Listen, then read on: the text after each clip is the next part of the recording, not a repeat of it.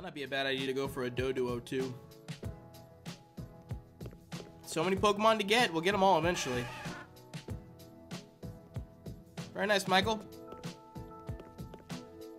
Yeah, one hour and 27 minutes. I'll go for, I'm, I'm going to go for 30 more minutes, and then I'm going to record something before I go to the movies, because I haven't seen Star Wars yet, and it's killing me. So I'm going to go see Star Wars, like, really, really late. I'm super hungry, but I am going to starve myself until I go see it. I agree. I, I'm cool. I'm cool with this DLC. Um, it does set an interesting precedent, right? Does that make sense? It sets a precedent that, like, oh, mm, are we going to have to um, pay more for less in the future? Because that's typically what DLCs end up doing. But Nintendo's done a really good job about not having that happen yet with any of their DLC content. So I'm not too worried about it.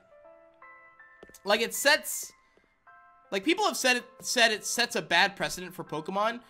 I disagree. It it just sets like well really it's Pokemon keeping up with the times cuz DLCs are everywhere.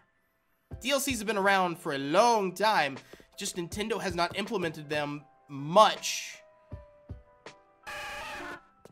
Uh, except for like, oh, I'm so sure that's it, right? I saw the sparkles. Is that it? Because Seel is very hard to...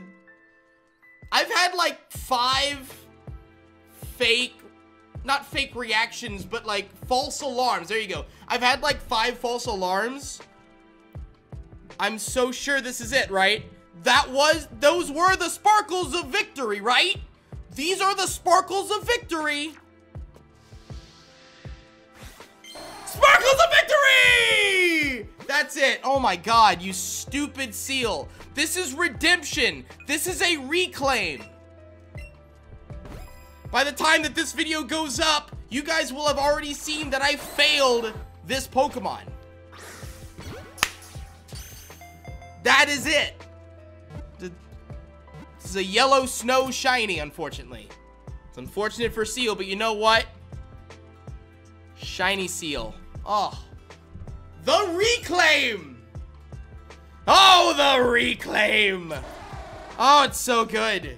Look at that kind of shiny. It's such a bad shiny. I, to be honest, I like I couldn't fix it. I don't know what color you would make Seel instead in instead of this. Maybe a nice like light blue or something. But then again, it would blend into the ice, and I wouldn't be able to see it anyways, and I would have failed it anyways. Woo!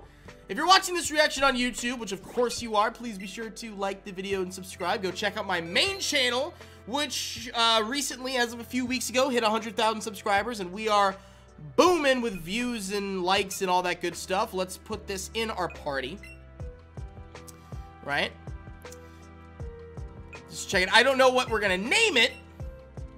We'll have to figure that out. I'm going to put Miranda away.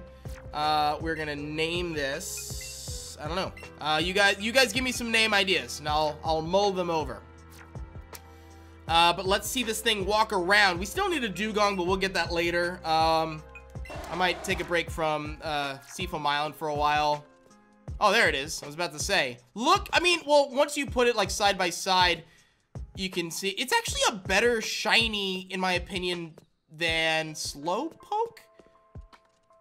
In the comment section of YouTube and in on Twitch right now, tell me, like, which is a better or worse shiny, Seel or Slowpoke, just out of curiosity. Off-White, Ugly Barnacle, Disappointment, Redemption, um... I don't know what I want to name it. Um, oh, get out of here, man. I could, I could name it Off-White.